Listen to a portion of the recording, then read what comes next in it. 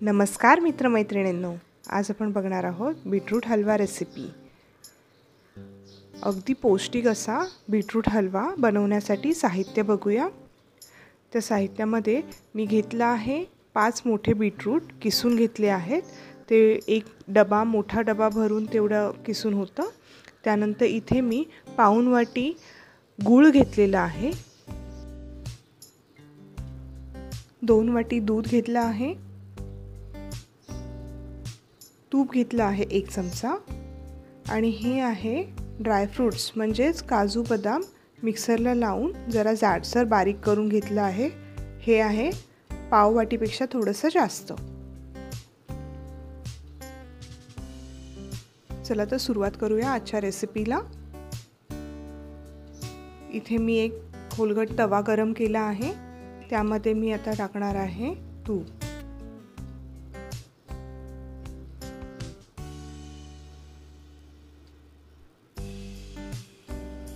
हे तूप वितळलं की त्याच्यानंतर आपण त्याच्यामध्ये हा किसलेला बीटरूट टाकणार आहे.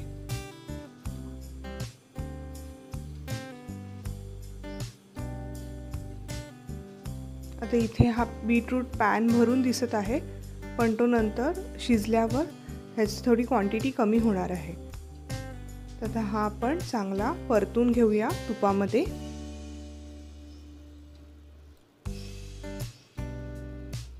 ह्याचा जो कच्चेपणा आहे तो जाईपर्यंत आपल्याला तुपामध्ये चांगलं परतून घ्यायचं आहे.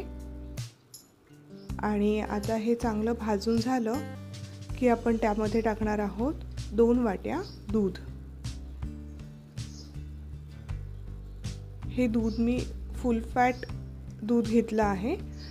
कारण की मी याच्यामध्ये खवा टाकणार नाही आहे तर मी इथे फुल फॅट दूध घेतलं आहे.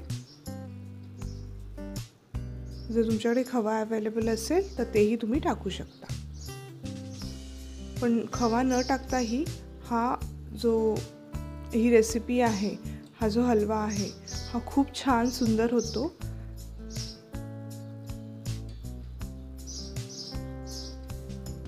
ह्याला चांगलं आता परतून घ्यायचं आहे. परतल्यानंतर आपण याच्यावर झाकण ठेवून हे दूध पूर्ण आटेपर्यंत म्हणजे दूध हे पूर्ण हे बीटरूट ॲब्झॉर्ब करेपर्यंत आपण याला शिजवून घेणार आहोत. तर आता ह्याच्यावर मी झाकण ठेवते आणि पूर्ण शिजू देते. आता जवळजवळ सात ते आठ मिनिट झालेले आहेत. याच्यामध्ये दूध हे थोडंफार ॲब्झॉर्ब झालेलं आहे. तरी अजून थोडासा अंश दुधाचा राहिलेला दिसत आहे खाली. तर हे जे पूर्ण आटायला पाहिजे आता मी याच्यावर झाकण नाही ठेवत म्हणजे हे लवकर आटून जाईल.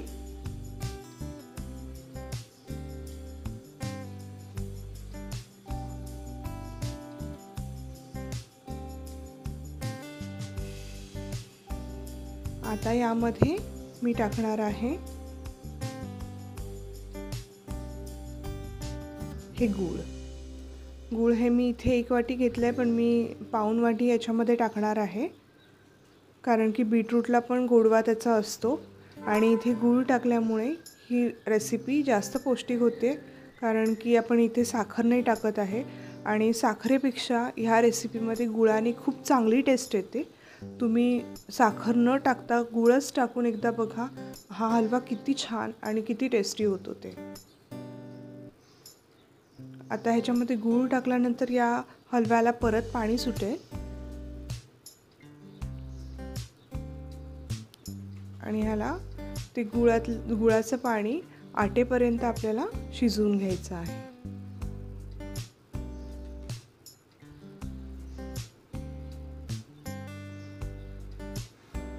ऑलमोस्ट आटत आलेलं आहे पाणी.